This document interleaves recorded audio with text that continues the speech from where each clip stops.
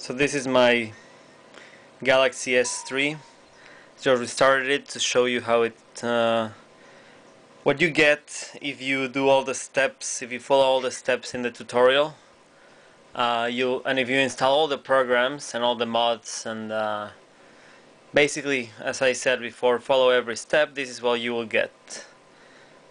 Um, this last update actually made my phone a little bit faster um, but it still does take uh, a little bit to load depending on what you have uh, what applications you have starting up with the phone. I don't have that many uh, but I know people that really use it uh, with started with many applications.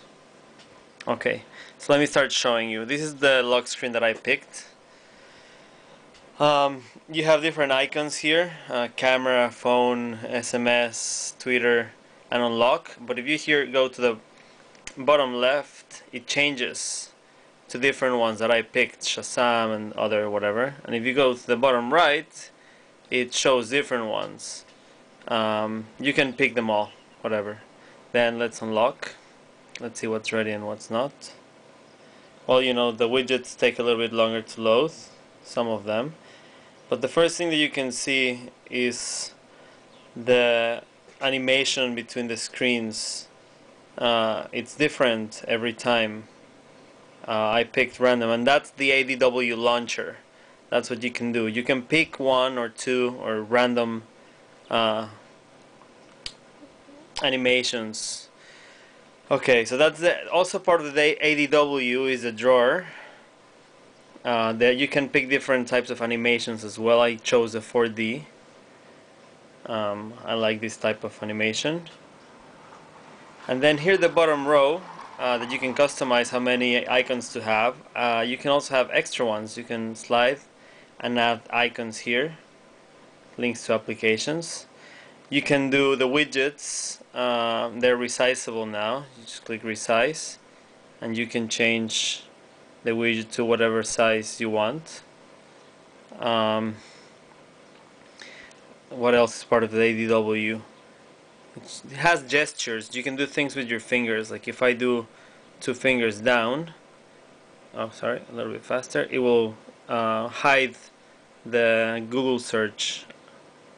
Uh, I think that's how it should show. And the, oh wait, and there it is back uh, and different kinds. You can uh, also program that. Then what you do with what you get with the Jkay Deluxe settings is this. You can customize what icons appear here and in what order. Uh, and then you can have, if you drag again, you get another line that you also can pick and customize. That's the uh, J, JKW uh, settings, whatever. Uh, also you have these applications that you can choose uh, and that's the notifications bar. Um, everything is customizable. The other thing that you have in my um, tutorial is a multi multi window which I turn on.